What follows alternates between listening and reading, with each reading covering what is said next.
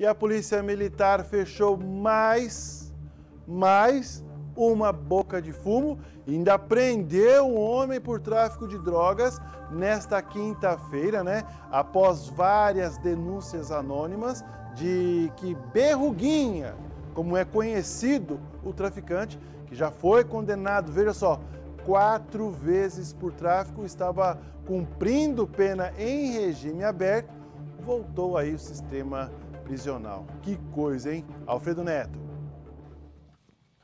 Berruga. Isso, não é verruga não, berruga. É o apelido de um homem que já tem quatro condenações por tráfico de drogas e foi preso na tarde de ontem pela Polícia Militar ali no bairro Guanabara. Após denúncias anônimas no telefone 190 de que uma casa serviria como ponto de venda de entorpecentes, a Polícia Militar foi até o local averiguar. Quatro policiais na viatura avistaram o suspeito, conhecido como Berruga, na frente da casa e um homem de bicicleta que saiu de bicicleta correndo ao ver a polícia se aproximar. Berruga foi abordado por dois policiais e outros dois foram na viatura atrás do rapaz de bicicleta para ver se tinha algo de ilícito com ele, drogas, armas. Berruga disse que na casa não haveria drogas e que a denúncia de tráfico de drogas no local seria uma mentira. E ele autorizou os policiais a fazer uma busca na casa. Como a viatura não estava na frente, o portão ficou fechado enquanto os policiais fazia uma busca no imóvel, uma pessoa chegou na residência e bateu no portão. O policial do lado de dentro, sem se identificar, perguntou quem era e o que queria. O rapaz do lado de fora disse que queria duas paradinhas de crack e passou duas notas de 10 reais por debaixo do portão. O portão foi aberto e o policial militar pediu para que o homem adentrasse a residência e fizesse parte da abordagem.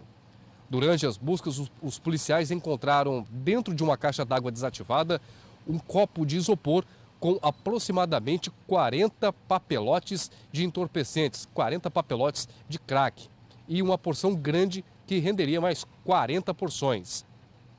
O homem recebeu voz de prisão por tráfico de drogas, ele que cumpria pena de tráfico de drogas em regime aberto, acabou retornando para o sistema prisional, aonde vai cumprir mais um, uma pena de tráfico de drogas e, é claro, perdeu o benefício do semiaberto que ele tinha. O homem que havia deixado a residência não foi localizado pelos policiais militares porque acabou adentrando aquela região conhecida como invasão e lá ficou difícil ser localizado. Mas os policiais acreditam que ele teria comprado crack com berruga e fugido ao ver a polícia militar. Berruga foi levado para a DEPAC, autuado em flagrante e nesse momento já está no sistema prisional.